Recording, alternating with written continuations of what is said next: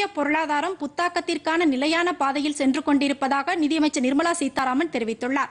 ஹரியானா மாநிலம் சண்டிகரில் நேற்று செய்தியாளர்களிடம் பேசிய அவர் சரக்கு மற்றும் சேவை வரியான ஜிஎஸ்டியின் மாதாந்திர வசூல் குறிப்பிடத்தக்க அளவுக்கு அதிகரித்துள்ளது என்று தெரிவித்தார். நேரடி வரி வசூலில் நடப்பாண்டின் ஆறு மாத காலத்தில் குறிப்பிட்ட இலக்கை எட்டியுள்ளதாக அமைச்சர் கூறினார்.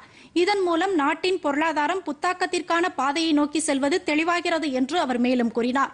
பங்கு சந்தையில் நிறுவனங்களை பட்டியலிடுவதும் அது சார்ந்த ஒழுங்குமுறைகளில் வெளிப்படைத்தன்மை நிலவுவதாக குறிப்பிட்ட அமைச்சர் நிர்மலா சீதாராமன் சில்லறை முதலீட்டாளர்கள் பரஸ்பர நிதிகளின் முதலீடு செய்த நிலை மாறி தற்போது பங்குச்சந்தை மீது அதிக ஆர்வம் காட்டுகின்றனர் என்றார். இந்த முதலீடுகள் அனைத்தும் வெளிப்படையான முறையில் நடைபெறுவதால் இந்திய பங்குச்சந்தை மீதான நம்பிக்கை அதிகரித்து வருவதாகவும் அமைச்சர் நிர்மலா சீதாராமன் கூறினார். பெட்ரோல் டீசலை ஜிஎஸ்டி வரம்புக்குள் கொண்டு வருவது குறித்து கேட்டபோது ஜிஎஸ்டி கவுன்சில் முடிவு செய்து அவற்றுக்கான வரி விகிதம் தீர்மானிக்கப்பட வேண்டும் என்று அவர் பதிலளித்தார். முதலாவது இமாலய திரைப்பட விழாவை லே பகுதியில் உள்ள சிந்து சமஸ்கிருத மையத்தில் மத்திய தகவல் ஒலிபரப்புத்துறை அமைச்சர் அனுராக் தாக்கூர் தொடங்கி வைத்தார். ஐந்து நாட்கள் நடைபெறவுள்ள இந்த திரைப்பட விழா இந்திய சுதந்திரத்தின் எழுபத்தி ஐந்து ஆண்டுகள் பெருவிழாவின் ஒரு பகுதியாக நடைபெறுகிறது.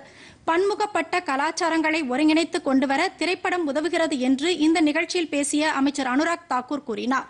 தாய்நாட்டிற்காக பல தியாகங்கள் செய்தவர்களை கொண்டது இமாலய பிராந்தியம் என்று அவர் குறிப்பிட்டார்.